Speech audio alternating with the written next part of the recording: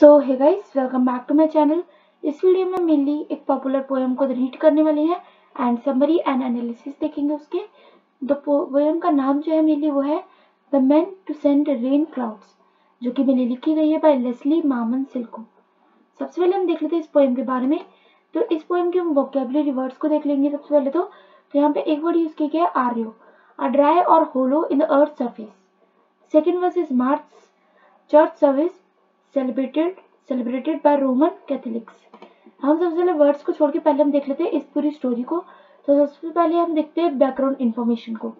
तो जो माकुम माकुमोन मामोन सिल्को है, वो रेस की गई थी on Laguna Pueblo reservation on New Mexico she grew up listening to tribal stories told by her great grand mother and great aunts the oral tradition and the collective memories depends upon the whole community and how she came up with her stories she wrote.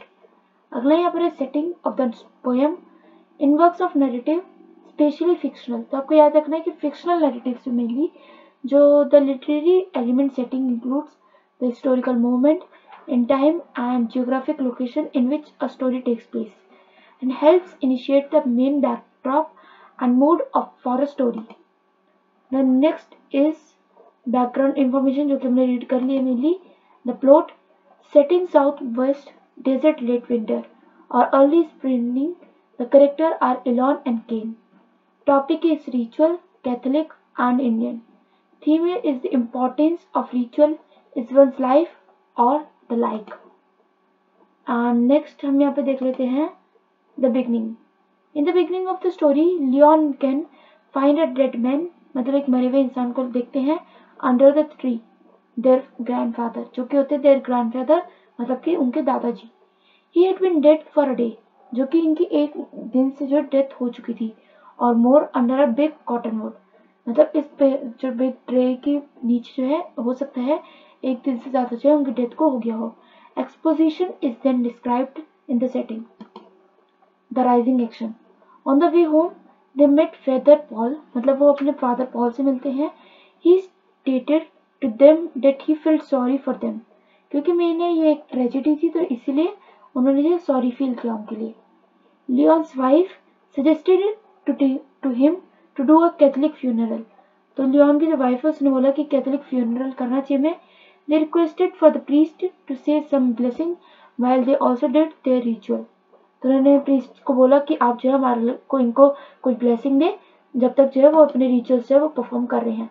Climax होता है mainly funeral का end the two different rituals of funeral with the holy water and the face painting on how to get to heaven is done then comes the following action the priest did not understand what they wanted him to do तो priest को पता ही नहीं चलता है कि आखिर वो क्या चाहते हैं, क्या किया जाए। The priest not only put holy water on the body but drop some in the burial hole मतलब कुछ नहीं है उन्होंने ब्यूरल होल जहाँ में बॉडी दबाई जा रही थी वहाँ पर भी रख दिया था। वहीं अगर हम देखें जाए इसका conclusion Leon and Ken put holy water on the body and painted his face. And they then stated, state that old man can bring the big ring. तो इससे पता चलता है हमारे को मेनली स्टोरी का। अगर आपको ये वीडियो अच्छी लगी तो वीडियो को लाइक कर देना चैनल को सब्सक्राइब कर देना। ये स्टोरी जो है थोड़ी बड़ी स्टोरी है एंड इसको समझाना जो है इतना इजी नहीं है। इसको मैंने सिर्फ़ आपको एक शॉर्ट फॉर्म में समझाया है। ताकि आपको पता चल जाए आखिर स्टोरी में कौन कौन से कैरेक्टर है। ये स्टोरी में आखिर ट्रेजिडी क्या है? क्या रिवॉल्व करती है कि किस चीज़ पे रिवॉल्व करती है स्टोरी तो ये सब कुछ मैंने आपको इस वीडियो में बताया है। अगर आपको ये वीडियो अच्छी लगी तो वीडियो को लाइक कर देना चैनल को सब्सक्राइब कर देना एंड इस वीडियो को ना आप नोट भी कर सकते हैं अपने रजिस्टर वगैरह में, क्योंकि एक बहुत ही अच्छे नोट्स के लिए काम कर सकते हैं। तब तक के लिए वीडियो को लाइक ज़रूर करें, क्योंकि मैंने वीडियो का लाइक टारगेट है फिफ्टी लाइक्स का। तब तक के लिए स्टे सेफ़ स्टे पॉजिटिव आप मेरे दूसरे चैनल को भी सब्सक्राइब कर सकते हैं, जिसका लिंक आपको डिस्क्रिप्शन में मिल जाएगा। Stay safe stay positive and thanks for watching bye bye